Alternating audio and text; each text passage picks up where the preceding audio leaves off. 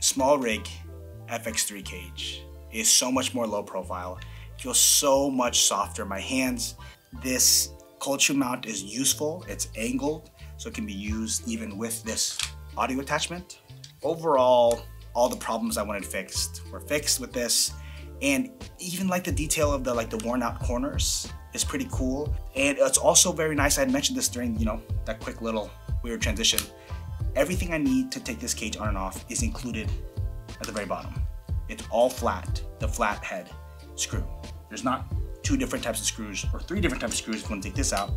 Um, but anyways, we upgraded, and I say upgraded on purpose, to this SmallRig cage. Uh, if you've seen any of our older videos, obviously we're using the Kondor Blue cage. So I felt like justifying the change